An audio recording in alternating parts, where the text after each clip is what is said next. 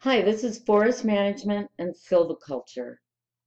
Silviculture is the science and art of reproducing and managing forests to obtain sustained yields of forest crops and other benefits through the application of silvics.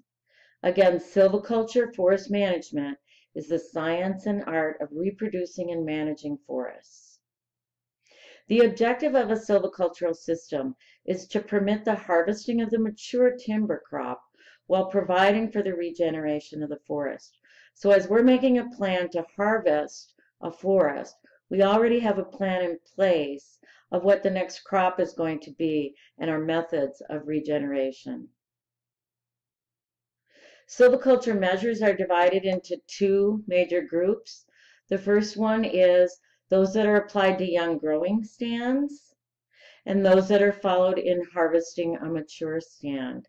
And so that will be part two and part three today of this screencast.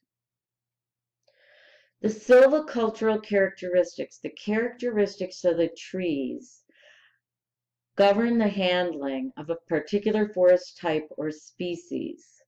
So the five characteristics that are most important to us when we're trying to grow a forest are the degree or tolerance to shade. And we refer to those tree species as shade tolerant or shade intolerant. The second one is the wind firmness of the root system. The third one is the ability to grow in pure or mixed stands. That we talked about when we were learning our trees on our tree identification cards.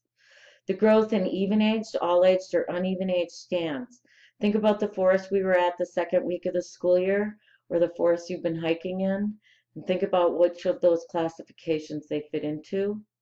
And the last one is the relative ease or difficulty of obtaining reproduction.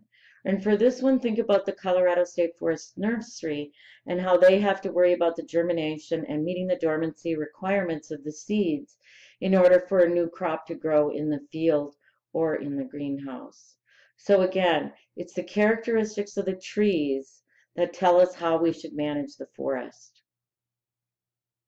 The reproduction methods, replacing one age class of trees with another, or starting in a forest dominated by a non-forest um, plant community, requires first of all the altering of the existing plant community, Second, treat the surface of the soil to provide conditions for reproduction. And third, of course, provide sources of reproduction, which is vegetative, which is cuttings, or seed. So now I'd like you to stop and do a quick activity on the silvicultural characteristics.